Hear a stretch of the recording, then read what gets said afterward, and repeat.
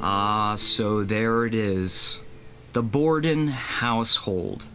At least it was back in 1892. It's quite beautiful from the outside, but it's not the exterior that concerns me. We're all familiar with the story of Lizzie Borden, correct? A 32 year old woman accused for murdering her father and stepmother? Lizzie's method? An axe to the head. But that was over 125 years ago now. However, some say the Bordens still reside in this house, including Lizzie.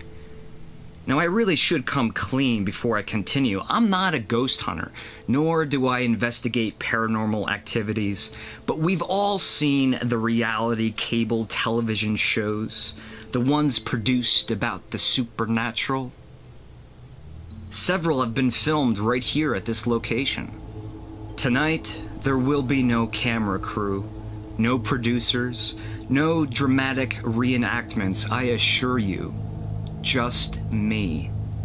That's right, I'm going to spend the entire night in this house alone, solo, unaccompanied and unsupervised. That is, unless you care to join me.